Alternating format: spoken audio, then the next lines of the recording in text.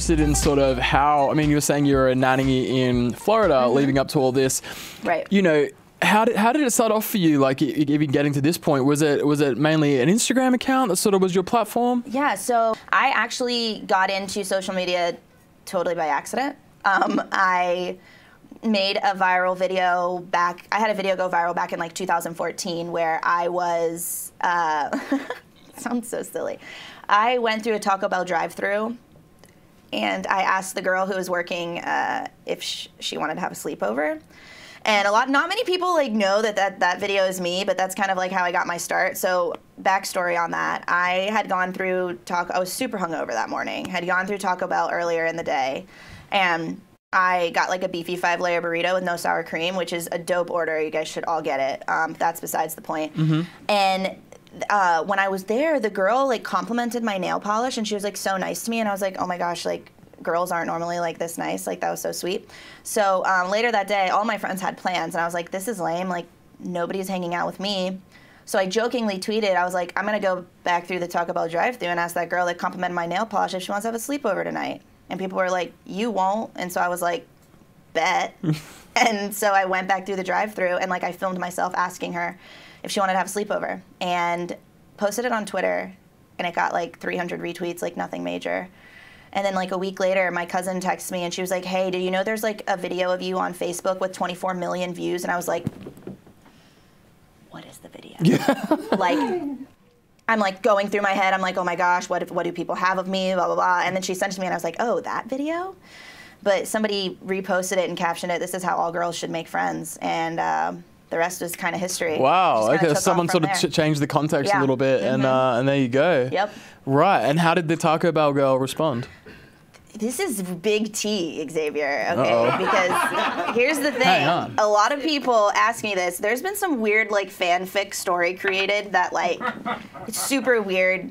Somebody created this story that like I then started dating the girl from the Taco Bell drive-through, and they like associated like me and like my ex-girlfriend in that being like a Taco Bell love story. Okay, I'm here to squash all those rumors. I never dated the girl from the Taco Bell video. Ah, don't There. say it. Don't I say said it. it. It's out there. That never happened. Um, actually, she was super, super sweet, and um, but she worked until like midnight that night, so it didn't end up working. I love out. that you went straight for the sleepover, not like drinks No, or like. no, no, no. Like, do you you compliment my nail polish? Do you want to have a sleepover? Do you want Yeah. to sleep in the same bed tonight? Plus, I was hungover. Like, I wasn't. I didn't want to drink anymore. So Oh, I was true, like true. sleepover, popcorn, tea, Rice Krispie treats. Okay, wholesome. We're actually gonna have a sleepover right here after this. Yeah, she's moving in apparently.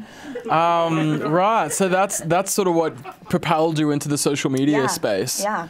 Gotcha. Did, did you get like was it a bit like following that occurred, or did you just sort of? Well, like I think somebody commented like my username under the video on Facebook because it wasn't my account that posted it. And like I remember going to sleep and having like 3,000 followers on Instagram and waking up and I had like 30,000 followers overnight and I was like, whoa, what is going on? Like I don't know, like slow down. Um, and so I just really kind of got thrown into it and so it was like this super like small town southern girl like it now has all these like thousands of people with their eyes on me and I was like, whoa, the internet is mean. Yeah. Oh, But they like were mean. also hi. Hi, gonna make a Right. career off this. Great, time to make more videos. And so, what did you? Yeah, what did you do after that? You started making content. yeah, I just started uh, kind of just creating, and um, I think my hardest thing is like. Even like being in the reality house, one thing I am really like proud about from that is like I was always authentically myself. I am loud, I'm outspoken, I have a lot to say, and not everybody understands my humor, but I always remain true to myself. And so that was like the biggest challenge was like coming into the whole social media world and you have this tendency to like compare yourself to other creators or like, oh well they're doing this and they're super successful in this and like I'm kind of doing the same thing but you know, I'm not as successful. And I think that was like my biggest downfall for a long time and then eventually I was like, screw it, like I'm gonna be me and people can either love me or hate me, but at least they're talking about me. On a on a more serious note, I uh, I saw your uh, your Instagram post the other day, uh, which I thought was really um, insightful. Sort of a different side to you. If you Right. guys haven't seen it, it's a uh, it's basically a, um, a post that has a, a quote on it that's written in balloons, and it says, "No longer available for things that make me feel like shit." Right. Great quote, great message. What prompted that? Um, so I think, uh, especially since the reality house has aired, I've been getting, you know, a lot of people passing judgment on me based on, you know, 10 15 second clips that they've seen of me you know in a reality show and it's really easy to get wrapped up in that and it's really easy to get wrapped up in in the opinions of people who don't know you and mm-hmm. don't know your heart and and don't know your passions um, and it's easy to allow their opinion of you to kind of transform how you feel about yourself and um, I've seen a few of my other co-stars from from the show, you know, kind of going through that, reading the negative comments and being really down on themselves. And I think I just wanted to take a minute to remind everybody that like at the end of the day, all you can do is is live your best, most authentic life, and you need to wake up every single day and strive to be better than you were yesterday. Mm-hmm. And as, we as humans, that's all that we can do. I think it's really easy to, you know, see these people that you follow and that you look up to or admire or dislike for whatever reason and hold them to a different standard as if we're not human mm-hmm. and we're not capable of making mistakes or we're not capable of growth or you know change and um, I think I just wanted to kind of put it into perspective for people that, you know, we're all human and we're all doing our absolute best on this, you know, really crazy planet.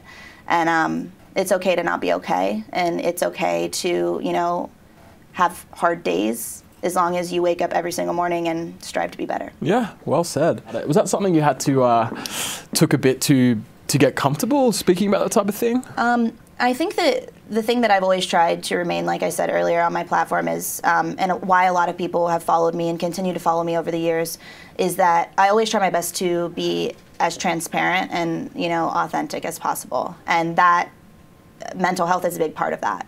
And I think in today's society, everybody tries to put this image of themselves out there that you know they all they have it all figured out or life is great. And behind closed doors, that's not always, you know, how mm-hmm. it is. You're only seeing a sliver of what people allow you to see.